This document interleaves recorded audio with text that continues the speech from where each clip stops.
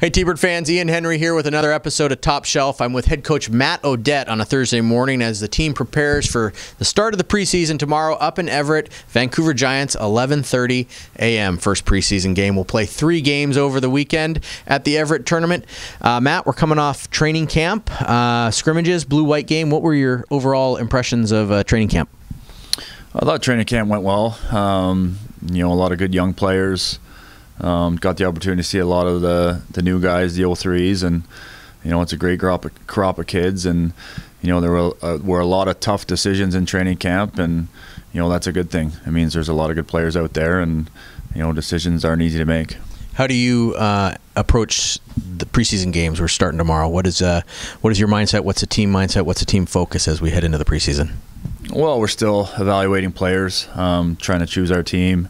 Um, there's some battles going on, um, not only to make the team, but for ice time. Um, you know, uh, you know, spots on the team. You know, depth depth chart st- type stuff. Um, you know, power play, penalty kill, all that stuff. So uh, we're trying to see who seizes those opportunities. Um, at the same time, we're starting to implement some of our systems, um, get some of that stuff going, and you know, we're looking for improvement each and every game. Um, you know, uh, as we go on, we should be, uh, you know, fully ready to go come uh, come regular season.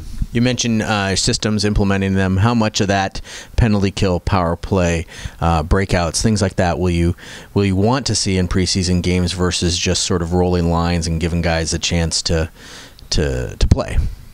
Yeah, we're going to roll lines. Um, you know, obviously the lines aren't going to be the same uh, that they're going to be in the regular season. Um, there'll be a lot of our key guys out of the lineups. Um, it's an opportunity to see the young guys, and you know we've implemented a couple of a couple of our core systems. Um, so we'll we'll be looking for that to improve each and every game. Um, you know, the power play units will be obviously different every game, so that's not as big of a priority. But um, you know, with what we've introduced, we want to see improvement there. We have three goalies in camp: Eric Ward, Cole Schwebius, Liam Hughes. Uh, three games. What's the? Is there a plan that you can share on how get them enough uh, game time, playing time? Is it going to be one guy each game, a couple guys a game? We'll play it by ear. I think the plan right now is to, to see each one of them for a full game. Um, you know, we'll start uh, with the first game in Vancouver, and we have our starter picked out, and, and we'll go from there. Same question a little bit with the 20 year olds. I thought uh, all four guys that we have battling for three spots were pretty good in training camp. They all they all showed well. I thought. What's the what's the plan in getting those guys enough ice time? Obviously, you want you don't you're not going to play them all the time, but you want to see what they bring to the table, and you want to create a, a competition among the guys. What's the plan there? Yeah, I mean they're all going to get an opportunity to play. Um, it's that fine line.